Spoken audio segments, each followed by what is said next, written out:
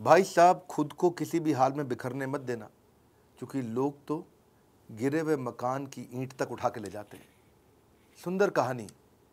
एक आदमी को अमेरिका के प्रिजन हाउस के अंदर मौत की सजा सुनाई गई। और उसको बताया कि इस मौत की सजा में तुम्हें एनाकोंडा, एक डेंजरस सांप, उससे डसवाया जाएगा। पहले फांसी थी। फांसी का उन्होंने प्लान चेंज किया। बोला, सांप से डसवा के इसको इस बार मौत की सजा देनी है। चेहरे पे उसके कपड़े से उसको कवर कर दिया गया। सांप देखा उसने एनाकोंडा उसकी तरफ़ आ रहा है, उसके बाद जब कपड़ा पहनाया और सांप जब उसको डसने के लिए आने वाला था, तभी वहाँ प्रिजन हाउस ने प्लान चेंज किया और दो सुइयाँ उसके हाथ में ज़ोर से चुभा दी।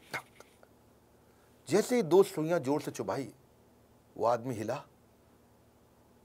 अभी उसने देखा कुछ नहीं, और ज़ोर से हिला और अचानक गिर गया। डेढ़ मिनट के अंदर उस आदमी की मौत हो गई।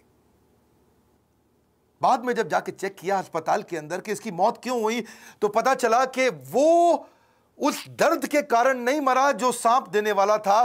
उस दर्द का जो विचार था, उस विचार से जो जहर पैदा हुआ, वो सांप के जहर से ज़्यादा खतरनाक था, इसलिए उसकी निश्चित मौत हो गई। यानी कि परिस्थिति में उतना दम नहीं है कि आपको बर्बाद कर सके। आपकी मनस्थिति आपको परिस्थिति से पहले बर्बाद करती है। ज़्यादातर लोग इसीलिए हार जाते हैं क्योंकि वो जीत से पहले ही मैदान छोड़ देते हैं। ज़िंदगी में बड़े निर्णय लो, एक बार जो फैसला कर लिया तो पलट के मत देखना, क्योंकि पलट पलट के देखने वाले लोग कभी इतिहास नहीं रचते। धन्यवाद।